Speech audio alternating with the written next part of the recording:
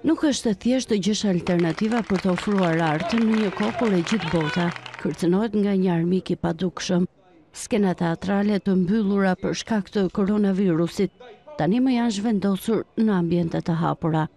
Kështu ka ndodhur këtë fundjavë në Korçë, në shkollën e parë shqipe, ka marrë jetë komedia pas vdekjes.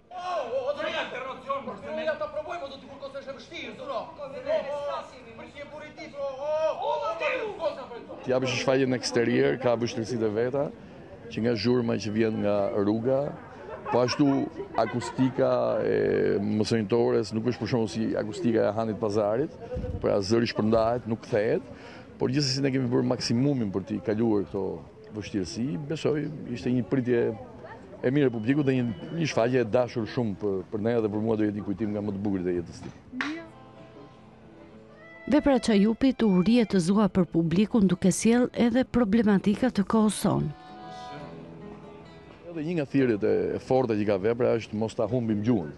Pastaj pjesa tjetër është një teatër brenda teatrit ku kemi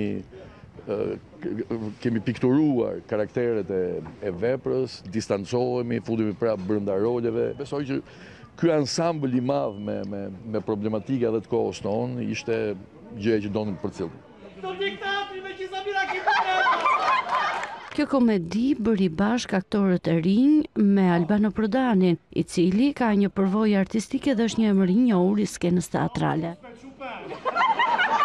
Sot jam ndjerë së pari i gëzuar, se i jemi rikthyer punës dhe në këtë moment thuajse historik për teatrin, të vështirë, por për ne sot është një Një moment gëzimi, është një moment feste. Zakonisht çdo premierë është festë, po aq më tepër në këtë momentin, në periudhën e pandemisë, kur ne menduam s'do t'i riktheheshim dot më teatrit.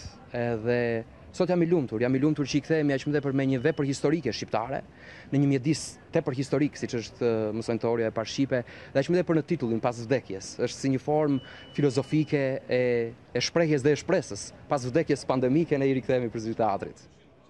E ndonëse kushtet nuk janë të favorshme, dëshira e madhe për të shijuar art edhe në kohë të tilla ka bërë që regjisori dhe aktorët e trupës së Korçës të premtojnë se shfaqja do të vijojë rrugëtimin e vet artistik.